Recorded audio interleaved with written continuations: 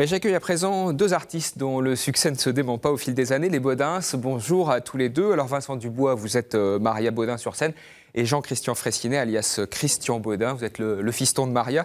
Vous êtes au Zénith de Limoges ce soir et demain pour deux représentations de votre spectacle emblématique, Grandeur Nature. On en regarde un extrait.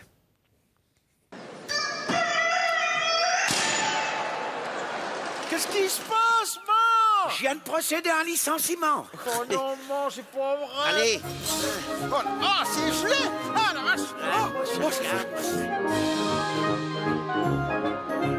c'est plein de grumeaux là-dedans. Moi, j'ai pas besoin, je suis à fond. Mais t'es à fond, t'es à fond. Fous-moi la paix. On dirait la SNCF en plein boulot. Fous-moi le camp de là. Bah, Allez, Ça va-t-il, Maria Tu ça peut te foutre, t'es gynécologue Ah, bah dis donc, elle est remontée, la bête, hein alors, messieurs, première question pour commencer. Pourquoi ce patronyme de Baudin, Baudins ah. euh, Pourquoi pas, par exemple, Bonnet, Pichon, Moreau ou que sais-je encore Et si je vous pose cette question, c'est à dessein, parce que Baudin, c'est mon patronyme. Eh Alors, je vous accueille un peu en cousin. C'est gentil, merci. En fait, vous êtes un peu le, le fils caché de Maria, mais qui a réussi. Pourquoi pas le frère, de Christian, quoi. Non, mais c'est euh, Baudin, c'est... C'est parce que euh, naguère, la dame qui m'a inspiré l'histoire, ça s'appelait Maria Bonin.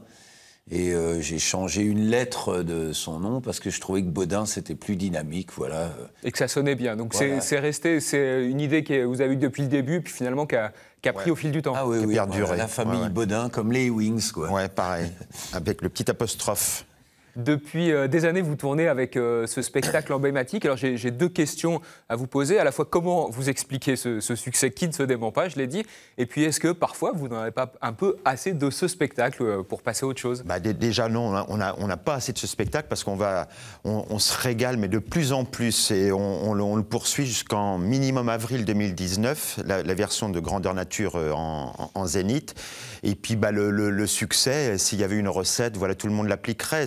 Pense que c'est la, longévité, le bouche à oreille. nos, personnages existent depuis euh, plus de 20 ans.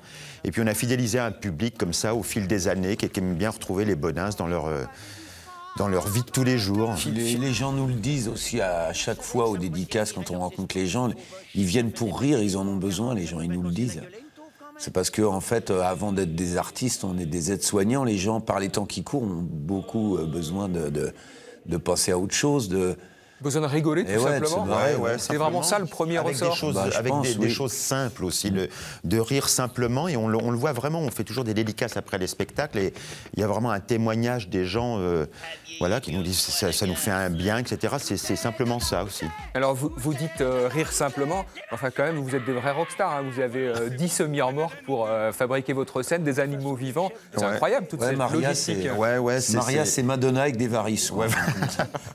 voilà, non, mais c'est c'est le, besoin de ce spectacle, parce qu'on a aussi fait plein de duos où on, était tous les deux sur scène avec peu de décors, mais ce spectacle-là nécessitait cette, euh, cette dimension. On reconstitue une ferme entière sur scène avec de, vrais animaux, un vrai potager, euh, voilà, avec tout, tout ce qui va autour. Et puis il y a d'autres comédiens. On est, on est huit en scène.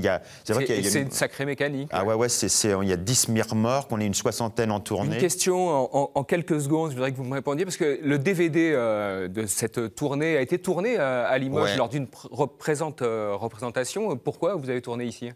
Eh ben parce que c'est un, un zénith qui est qu'on adore d'abord, qui, est adapté à la, au tournage. Le son est très mal. Le son est, très bon. et puis, euh, donc c'était un bon endroit pour, euh, tourner ce DVD. Mm. Voilà. Je vous coupe parce que l'interview est terminée. Le, temps passe. Vous souhaitez un très bon spectacle. Merci. Ce soir, on reviendra à Limoges euh, en mars 2019. En mars 2019. Voilà. Tournée prévue sur deux ans. Ils travaillent comme des dingues.